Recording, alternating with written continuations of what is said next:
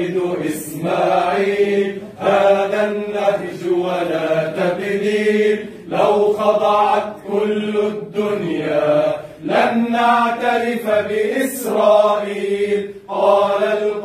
قائد إسماعيل هذا النهج ولا تبديل لو خضعت كل الدنيا لن نعترف بإسرائيل لن نعترف بإسرائيل